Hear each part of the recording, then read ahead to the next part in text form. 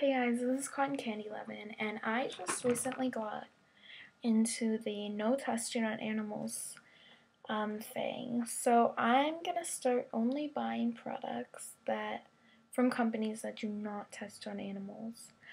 Um, if I have companies that do, I'm gonna use up their products but never repurchase.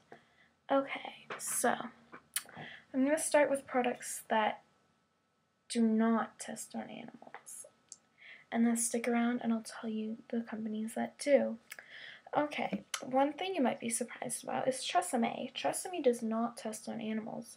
So you can buy their heat protectant, I have their shampoo conditioner, hairspray. They do not test on animals, which is really nice because, you know, yeah, you don't want to test on animals. Another drugstore company, I'm to be doing drugstore because most high end do not test on animals because they have more money to test on other things, but I'm not sure why. Like, I'd pay more for something just to know that it's not tested on animals. Another co- drugstore company that does not test on animals is New York Color. And I was surprised to find this because they're really cheap, but you know, they're not tested on animals. Another um, company that doesn't is Revlon. I have some of their nail polishes, and they have a really good selection of lipsticks, really good selection of eyeshadows, things like that. Revlon does not test on animals. Okay, um, you might be surprised about this, but um, NYX and e.l.f. do not test on animals. So they're like really cheap companies, but you know that you're not gonna be buying products that might, you know, be tested on animals. So it's really nice that those aren't because they're nice and cheap. I'm sorry if I keep looking down because I have a list. Um, okay, Physicians Formula does not test on animals, which is good and Almay does not. So those are the lists of like drugstore brands that do not test on animals for like mostly makeup. For nail products, Essie polishes themselves do not, but I'll get into the L'Oreal situation later too. Also, the Body Shop, which is between high end and low end, is um, does not test on animals, but I'm going to get to the L'Oreal thing in a minute. Okay, so these are the pro the companies that do test on animals. Okay, so now I'm going to talk to you about L'Oreal. L'Oreal has said that it does test on animals, and the controversy with the body shop behind that is that, you know, they are owned by L'Oreal. Although their singular products themselves do not test on animals, paying for their products would kind of be like giving a little bit of money to an organization that does test on animals. So it's kind of controversial there. Also, like I said, what did I say? With Essie nail polishes, I have a couple. Um, they themselves do not, but they're owned by L'Oreal now. And L'Oreal does test on animals. Okay, now I'll just give you a list of companies owned by L'Oreal and other companies you may want to avoid. Okay, um, L'Oreal owns Maybelline. I know I'm sad too because I really like Maybelline stuff. It owns Rimmel, London, it owns L'Oreal Paris.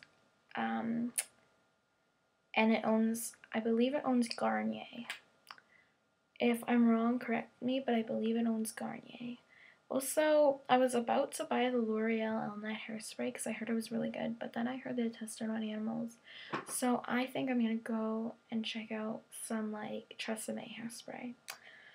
Um, so, other companies that are not associated with L'Oreal, or I don't think they are, but do test on animals are chapstick. You might be surprised about this because it's just chapstick. So I personally, I have my J.R. Watkins, or you can go get like Bath and Body Works chapstick, or you can go and get like Burt's Bees. That's nice. I like Burt's Bees. Okay, um, so another company is CoverGirl. This is a little bit controversial because if you check out their statements, what they say is that they only test on animals in extreme cases where like it's required by the law that they test on animals. So, um, that's a little bit like undecided for me. I'm sure if there's a product I really, really want to get, I think I'll get it. But otherwise, I I don't think I'm going to be purchasing much CoverGirl anymore.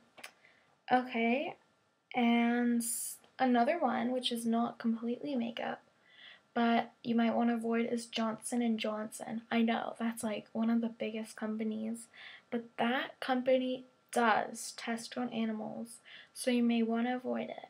Okay, um, so if you have any questions on other companies that do test on animals, just contact me and or write a comment below and write other I can do other tutorials things like that.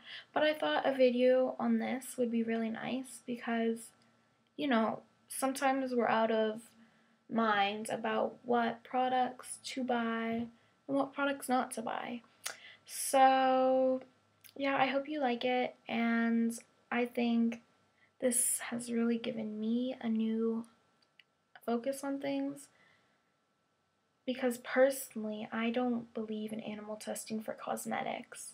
I don't know about medical, I don't really have a view on that yet, but for cosmetics, we've been testing for so long, we should know what ingredients, you know, will work and won't break us out. And some foundations or anything might break us out, but it's better than having it tested on animals because here are some facts. 100 million animals, it's estimated, die year round from being tested on. Also, one of the most common known um, animal testing thing is where they take a rabbit's eye and they drip chemicals into it to see if it will irritate it. But the problem with this is, well, that's the big problem. They keep them in cages. And even if they don't keep them in cages, they're quarters may be nice, but they're suffering. Their eyes are hurting, and you might want to, they might make a nice habitat for them, but in their brains and in their minds, they're suffering. And a lot of them in the end die. Um, so yeah. Also, like, you can buy organic makeup, and I think that's a better alternative. Or even like Revlon, I told you that. They don't test Physicians Formula, NYX, e.l.f., our cheapest besties, they don't test. So, yeah, I hope this helps, and I'm just to do a quick outfit of the day. Okay, so I'm just to move back. Okay, my outfit is just a Agatha Ruiz de la Prada dress it's really cute. I can't really explain it. It's kind of a tunic, so I do wear shorts underneath, but it's really cute. Um, yeah. And then I belted it with this double braided belt I got with another dress at Zara. And yeah, I think it's kind of cute. And yeah, I hope that you guys learned something. Oh, and the color I have on my nails is Fifth Avenue by Essie. And then I just have a, what's this brand? Sally Hansen Hard as Nails Silver on there. And on my toenails, I have this Revlon color, Make Mine Mango. So, yeah. I hope you learned some things, and bye. Give me suggestions. Subscribe.